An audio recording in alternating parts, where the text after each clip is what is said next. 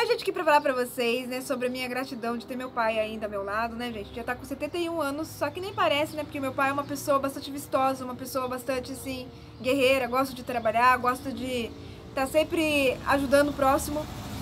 É uma pessoa que não gosta de ficar parado, né?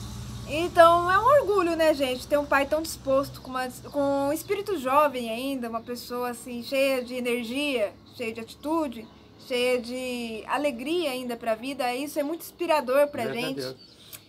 E é bom ter ele assim ao lado, né, gente? Eu já perdi minha mãe, uma coisa que é muito forte, muito doída. Mas de ter perdido ela fez com que se aproximasse mais do meu pai, né?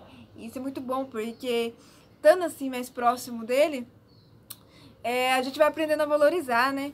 E eu creio que isso serviu para estar mais perto dele mesmo. E é uma gratidão muito grande, pai, de ter você do meu lado, né? Nossa. Eu queria que você soubesse É disso, benção, né? porque é.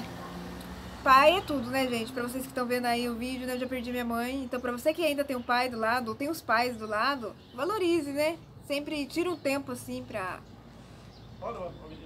Bom, pra conversar, pra jogar a conversa fora, né, pai? É. Pra- é, é sempre muito importante a gente ter assim, o pai do lado e estar valorizando, né, pai?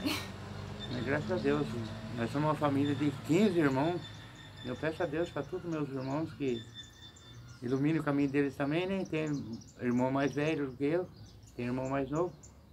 Mas todo dia eu peço a Deus, nosso Senhor Jesus Cristo, Nossa Senhora, que ilumine o caminho de todos eles. E é isso, gente.